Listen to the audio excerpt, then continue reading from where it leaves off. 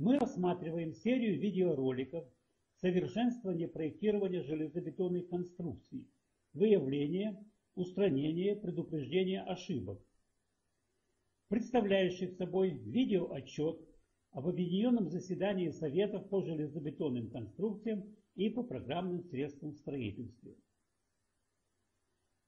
Это седьмой ролик серии, в котором сформулированы предложения по совершенствованию проектирования железобетонных конструкций, обобщающие результаты моего сообщения на заседании Совета. По итогам изложенного мои предложения состоят в следующем. Первое.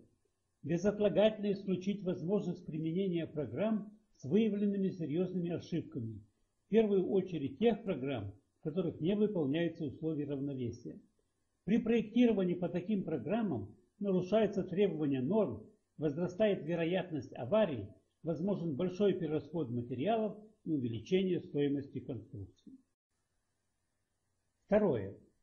С целью повышения надежности конструкций включить НИИЖ в процесс оценки расчетов железобетонных конструкций по различным программным комплексам. Правильность расчетов можно оценивать, сравнивая результаты с примерами пособия. Если будут выявлены, выявлены ошибки в пособии, исправлять их и вносить измененный текст в интернет-издание, сообщая об изменениях.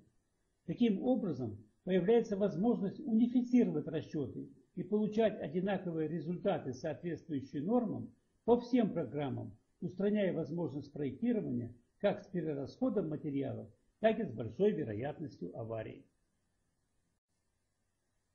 Третье. Разработать документ для верификации расчетов железобетонных конструкций по СП-63. Документ должен содержать небольшое число примеров по каждому разделу СП-63, позволяющих авторам верифицировать программы или ручные расчеты. Четвертое. С целью снижения стоимости и материалоемкости конструкций проводить в НИЖ экспертизу проектов, используя методику пособия по оптимальному проектированию железобетонных конструкций. Пятое.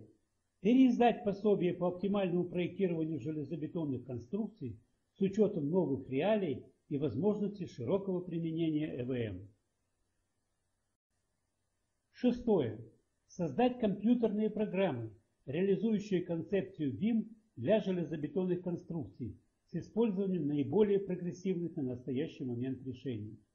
Тогда эти прогрессивные решения найдут наиболее широкое применение в строительстве при использовании программ в реальном проектировании. Седьмое. С целью сокращения трудоемкости и сроков проектирования, а также минимизации ошибок, разработать рекомендательные документы, пособия, руководство по автоматизированному проектированию железобетонных конструкций с использованием технологии BIM. Мог бы стать проводником внедрения этой передовой технологии. Эти предложения можно реализовать достаточно легко, без существенных финансовых затрат, а большой положительный эффект от их реализации очевиден. В заключение я хочу поблагодарить за внимание и выразить надежду на то, что в скором времени положение с проектированием железобетонных конструкций улучшится.